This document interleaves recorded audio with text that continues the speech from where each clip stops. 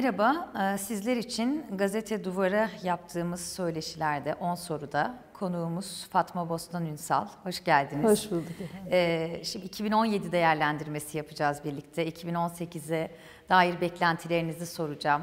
Ama bir hatırlatma da yapmak istiyorum tabii. Siz Muş Alparslan Üniversitesi'nden 2016'da kanun Evet. hükmünde kararnamelerle e, barış metnini de imzaladığınız bir Evet. akademisyen olduğunuz için onu da hatırlatacağız. Evet. E, işinizden oldunuz, atıldınız Evet. demek istemiyorum ama ihraç edildiniz Evet. öyle diyelim.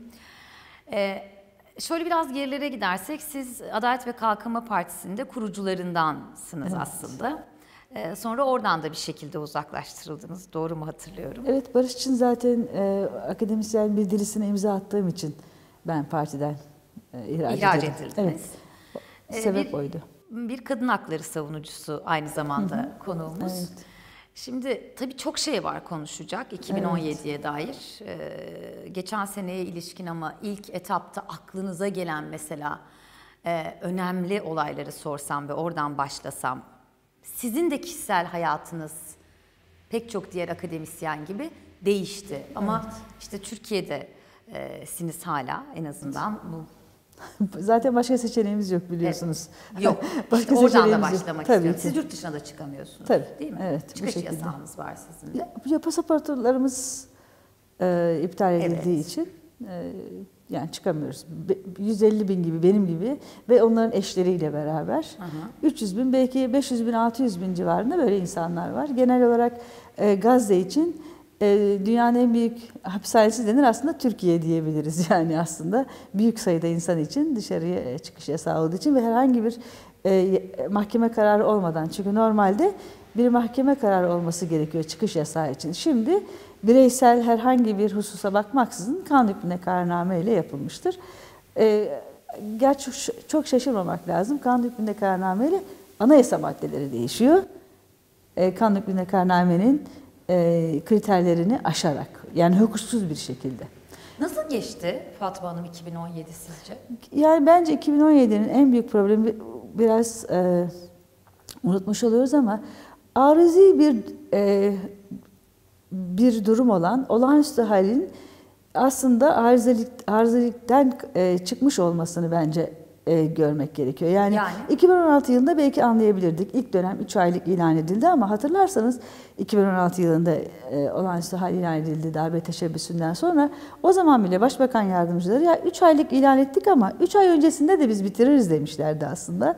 Hadi diyelim ki ikinciyi anlayabiliriz ama artık 2017 yılına gelmişiz ve e, arızi olması gereken o, o hal devam ediyor ve e, hukuk içinde bir dönemdir olağanüstü hal ama Türkiye'nin uygulanışı hukuk içinde olmayı da aşmıştır. Çünkü e, bir ke, olağanüstü hal KHK'ları e, biliyoruz ki ne parlamento denetimine tabi ki bu anayasaya aykırıdır, ne yargısal denetime tabi, e, ne de içerik olarak o hal KHK'larının e, olması gereken kriterlere uymaktadır. Yani Yani o hal açıdan. 2017'de kalıcı hale geldi kalıcı diyorsunuz. hale Birliği geldi ve bunu, e, ve bunu yönetim modeli bizim gibi pek çok e, daha bireysel olarak veya genel olarak e, hayatımızı olumsuz etkileyen pek çok olaylara da sebebiyet vermektedir. O yüzden o halin bu durumunu, bir hukuksuz durumunu, arızilikten çıkmış durumunu yeniden belirtmemizde fayda var. Bu o hal o uygulamalarına bağlı olarak benim ilk aklıma gelen yani e, e, Sayın e, Aysel Tuğlu'nun e, merhum annesi Hatun Tuğlu'nun cenazesinin gömülememesidir. Yani bu çok büyük bir aslında travmadır.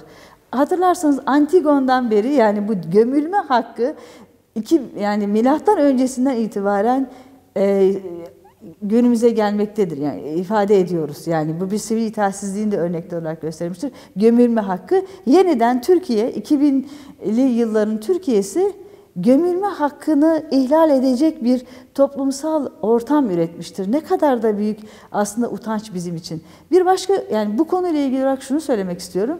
Türkiye'de tamam daha sonra bunun kötülüğü anlatıldı ama e, kö, bu kötülük geçerli de oluyor yani cezasızlık e, yaygın olduğu için yani tamam daha sonra bunun hiç de uygun olmadığı e, üst düzey yetkililer tarafından da ifade edilmiştir ama bunu yapanlar cezasız kaldığı için benzer pek çok olaya tanık oluyoruz. Yani Hatun Tuğul'un e, yani e, defnedildiği yerden çıkartılıp başka bir yere götürülmek zorunda kalması aslında bütün Türkiye toplumu için büyük bir utançtır. Her zaman meczup birileri çıkabilir, yanlış yapanlar ama toplum bu yanlış yapanlara izin vermemelidir. Maalesef Türkiye'de olan bu yanlış yapanlara izin verilmesi, yanlış yapanların e, cezasız kalmasıdır. Benzer bir şekilde böyle ceza verilmediği için yani bunu engelleyecek mekanizmalar kurulmadığı için bir başka ana akım ben gazeteci diyemeyeceğim yani mesleğe saygı dolayısıyla birileri çok rahatlıkla işkenceyi savunabiliyor. Hatırlarsanız. Şok edici yani e, bu yine Hatun Tuğluk üzerinden gidiyorum rahmetli. Yani yapılan kötülükler cezasız kaldığı için benzer kötülükler çok rahatlıkla söylenebiliyor, ifade edilebiliyor. E, hatırlarsınız yani işkenceyi e, bir evet, isim yöntem olarak istemiyorum bilerek evet, işkence siz de öyle. E, bir yöntem olarak nasıl önerilebilir? Hatta işkencenin de ötesine giderek e, MIT niye suikast yapmıyor işte belirli insanlar için diyerek yani suikastın bir tavsiye olarak ana akım medyada öneriliyor olması bir suçtur. Ve bu cezasız olduğu için bu tür olaylar devam ediyor. Bu yüzden yani yapılanlar çok dramatik yani çok trajik ama e, engel olunmaması daha da her zaman için dediğim gibi çıkabilir. Bir tane meczup bir şeyler söyleyebilir ama. 2017'nin önemli olayları Evet. olarak Bunlar cezasızlık, cezasızlık ce- üzerinden- çeşitli şekilde görüyoruz bunların böyle Nasıl şok edici. Yanlış olan asla herhangi bir cezaya tabi tutmuyor. Hatta bazen yanlış olan devam ediyor. Cezasız olduğu için ama. Sizce bütün bu olumsuzluklara rağmen kazananları, kaybedenleri kimler ya da neler oldu sizce 2017'nin? Yani şimdi kazananları sadece bu dünya olarak alırsak çünkü benim anlam dünyamda tek bir dünyadan ibaret değiliz yani. Ee, burada Hangi dünya olarak ele almak isterseniz? kayıp gibi gözüken şeylerin telafisi olabilecek ama sadece bu dünya almış olursak yani e, aslında Türkiye kaybediyor. Yani ve e, buradan kazananı da yok. Yani çünkü ben ona da inanıyorum. Yani ancak e, kazan kazan kazan e, formülü başarılı olabilir. Yani e, şu anda biz görebiliyoruz işte, işte diyelim ki Aysel Tuluk özelinde e, onun mütevaffa annesi orada yaşananlar kaybetmiş gibi görünüyor ama aslında bütün Türkiye kaybetmiş durumda. Veya e, işte o KHK'larıyla işte 150 bin insan atılmış, e, tekrar yeniden işe girmesi zor. Ama bu tü- Türkiye kaybediyor ve gördük ekonomik olarak ne kadar e, Tü- Türkiye'nin e, zayıfladığını görmüş olduk. Doların ne kadar yükseldiğini gördük. Kazananı yok e, bu durumun. Ama tersinden bakarsak e, bunları ifade ediyor olmak, e, te- tersinden e, insan haklarına duyarlı bir e, bu yaşadığı için belirli bir kesimin geliyor olması belki bir kazanç olabilir. Yani buradan başka bir yere e, çevrilebilir, çevrilmelidir de de bunu ifade edebiliriz. Yani tek tek isim olarak bilemiyorum. Bu olaylar arasında veya başka olaylara da bakınca etkisinin yıllarca geçmeyeceğini düşündüğünüz neler oldu 2017'de? Şimdi şöyle, yine hatırlarsınız 5 kişilik bir aile Ege sularında gömüldü. Yani üçü çocuk, anne baba. Ee, nasıl bir sıkıştırılmış içindeydi ki bu insanlar? Sonu e, bir ma- yani bir macera olan bu e, atıldılar ve nihayetinde e, öldüler. Yani bu aslında yine toplum için yani toplumun e, bu sorunlara e, gö- e, göz yummasının işareti aslında. Yani e, bununla karşılaşacak ve böyle olan binlerce insan, yüz binlerce insan var. Yani e, Yeni Asya'daki e, bir araştırmada 60 bin civarında insanın e, intiharı düşündüğü, işte 15 bin insanın da bunu gerçekleştirdiğini ama ölmediğini falan. Yani bu çok kötü bir şey. E, ve işte yine milyonlarca insanın e, şüpheli olarak görülmesi de bir toplumun ve bir iktidarın başarısızlığıdır aslında. E, her zaman için dediğimiz gibi e, uyumsuzluklar çıkabilir ama başarısızlık olduğunun e, ispatıdır. Bu kadar e, paranoya haline gelmiş olma güvenlik politikalarının veya e, her gün işte çeşitli şekilde insanların gözaltına alındığını görüyoruz. Bir gün önce normal insan, işte her hayatı normal bir şekilde geçen insan bir başka gün kendisini gözaltında veya tutuklu olarak bulabiliyor. Artık arkadaşlarımız bu olayları trafik kazasına benzetiyor veya doğal afete benzetiyor. Çünkü herhangi bir öngörülebilirliği yok. Herhangi bir e, şeyi yok. Bir anda siz gözaltına alınabiliyorsunuz. Osman Kavala örneğinde olduğu gibi yani. Her bir Size insan mesela teki, Osman Kavala örneği Tabii. yok artık dedirtti mi? Bu da mı oldu Tabii dedirtti ki, mi? tabii ki. Şaşırttı mı? Yani elbette ki şaşır. Şaşırmamız da gerekiyor Başka zaten. neler oldu mesela Neden böyle şaşırmayalım? Yani şaşırmamız da gerekiyor. Hiçbir zaman adaletsizliklere biz alışmamalıyız. Yani o zaman zaten gerçek kaybeden o zaman oluruz. Peki başka neler oldu mesela? Osman Kavala'nın gözaltına alınıp tutuklanması size yok artık dedirtmiş Tabii. 2017'de. Ya Başka? hayır, Büyükada'daki e, Hak yani savunucu. her hak savunucuların herhangi birimiz orada olabilirdi. Buradaki yani sivil toplumdaki herhangi sürekli biz toplantılara katılıyoruz. Herhangi bir toplantı bu şekilde basılı bir nite- nitekim biliyorsunuz çıktı insanlar. Çünkü ajanlıkla birden yargılanırken, müebbetle yargılanırken e, dışarıda hatta ya dışarıda yargılanıyorlar yani. E, yani bir yerden bir yere e, ve şey son derece e, dramatik ve yani korkutucu e, ifa, e, vasıflarla e, vasıflandırılan insanlar bir anda çok kötü bir anda da normal hale gelebiliyor yani. Bu bir saat içinde olabiliyor. Hatırlarsanız ben e, şu örneği vermek istiyorum. Konya Spor, Beşiktaş Spor e, müsabakasında İzmir Marşı'nı çalınca Beşiktaş PKK dışarı diyebilmişti yani Konya seyircisi. Onlar da işit dışarı demişti. Düşünebiliyor musunuz yani bu kadar e, e, rahat uçlarda is- e, suç isnadında bulunabiliyor insanlar. Hem de e, diyelim ki spor camiası gibi biraz politik alanın dışında sayılan yani bu aslında e, alarm vermesi gereken bir durum yetkililerimiz için, psikologlarımız için ve bütün bir e, sosyal e, bilimlerle uğraşan bütün insanlar için aslında alarm verici bir Peki durumdur. Fatma Hanım iyi bir şeyler de olmuştur herhalde sizi heyecanlandıran, umutlandıran, ne güzel oldu. Bu Evet. dedirten 2017'de. Ne oldu mesela hatırlar mısınız onları Yani öyle anlar oldu mu? özel isim verirsem adalet yürüyüşü tabii ki. Yani bütün bu adaletsizliklerden şikayet eden AK Parti seçmenine dahil yani iktidarın e, diyelim ki AK Parti e, partisini destekleyen insanların da e, Türkiye'deki yürütülmekte olan yargı sistemine güvenmediği, adaletsiz bulduğunu biliyoruz. %80 civarında e, düzenden rahatsız. Bunun ifade edilen edilmesine bir zemin olduğu için adalet yürüyüşünü çok anlamlı buluyorum. Çünkü e, benim pek çok arkadaşım referandumda evet diyen de e, dahil bütün bu e, KHK ile işten atılmakta veya gözaltı ve tutuklu olanlardan çok rahatsız. Ama ne yapıyoruz? Kendi aramızda bir araya geldik. Ah şöyle çok yazık.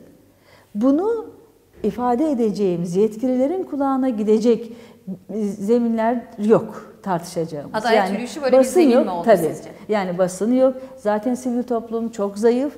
Ee, basın kapatılmış yok değil aslında yani çok özür dilerim. Yani bu arada o, o, e, o halin ilk e, gelmesiyle pek çok özgür basına çok müdahale olduğu için zemin olmadığı için adalet yürüyüşü bu anlamda toplumdaki adaletsizlikleri yapılanları ifade edecek bir zemin olmuştur. Bunu e, ve e, Adalet Kurultayı da bu anlamda e, yine bunların ifade edildiği zeminler olmuştur. E, Bence olumlu adımlardır. Çünkü önce ifade etmek gerekiyor ki e, daha sonra engel alınabilsin. Sonra da bunlar kalksın, pozitif bir atmosfere geçebilelim. Bu böyle devam Evet, etmez, etmez, etmez. dediğiniz anları soracağım ben de size. Mesela hangi e, durum karşısında bunu hissettiniz? Çünkü siz bir yandan da şu anda iktidar olan partinin kurucususunuz. Mesela hangi anlarda böyle hissettiniz? İşte intiharları duyduğum zaman mesela yine örnek e, şu şekilde örnek verebilirim. Babası Milli Eğitim Müdürü olan Boğaziçi mezunu bir genç kız. O da intihar etti. Ağustos ayı civarında. Daha önceydi belki de.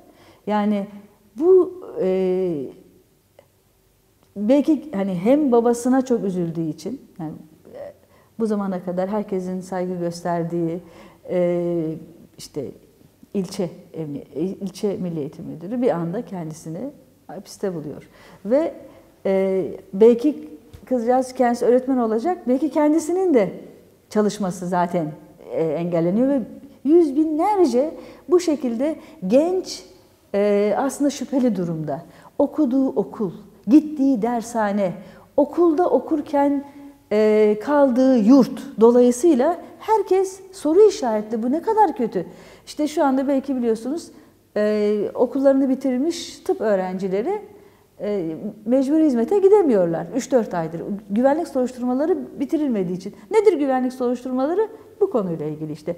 Hangi yurta gitmiş, kalmış, hangi dershane etmiş? Yani böyle bir toplum gençlerini bu şekilde fişler mi? Yani bu şekilde daha e, çalışma hayatına başlamamış gençlerini bu şekilde engeller mi? Bunları duydukça ben bu şekilde olamaz diyorum. 2017'de sizler göre kimler gündem belirledi ya da gündem oldu? Hem gündemi belirleyenleri hem de mesela gündemde olmayı, kalmayı başarabilenleri soruyorum. İki referandum da çok önemli. Hem Türkiye'deki referandum 16 Nisan Anayasa referandumu çok ilginç. Türkiye'deki bu zamana kadar olan siyasi kültürü ve oy alışkanlıklarını değiştirmiştir. Yani %65 civarında 70 sağ muhafazakar karşısında %30-35 sol laik bir bölünme vardı. Biraz da dengesiz bir e, bölünme. Bu referandumda böyle olmadığını, artık böyle olmadığını göstermiştir. Bu çok önemlidir. E, ve Türkiye'nin yeni siyasete açılmasını zorlayacak hatta hem de kolaylaştıracak bir denge göstermiştir. Yani Türkiye toplumunun bu dengesi. İkinci referandum. İkinci referandumda ee, Irak e, Kürt Bölgesel Yönetimindeki e, referandumdur.